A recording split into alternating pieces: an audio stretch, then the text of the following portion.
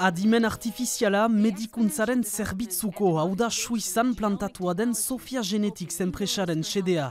Sozietate hau munduko oberenetariko bat bezala ezagutua, bidarten plantatu da berriki, bere sortzaileak jurgi kanblon angeluarrak ikerketa zentro bat garatu nahi izan du hemen izarbel teknopoloan.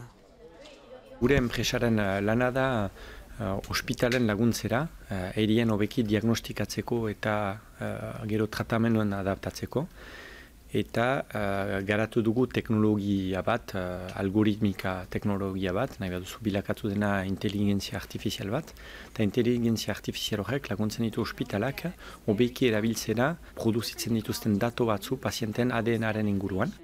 Elburua, minbizia bezalako eritasunak hobeki ezagutu eta tratatu, puntako teknologia hau, jada laureunta behogeita mar hospitalek baliatzen dute irurogei erri desberdinetan, ez eskolan goizuntan denak postu dira enpresaunen etortzeaz.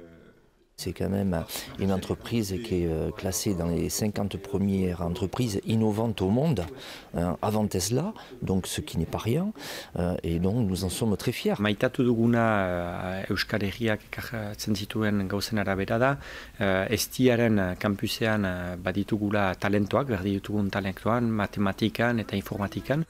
Enpresak suizan eunta irurogei pertsona empleatzen ditu, bidarten bai eta bordalen, hogeita marlan postu sortzea espero du laster.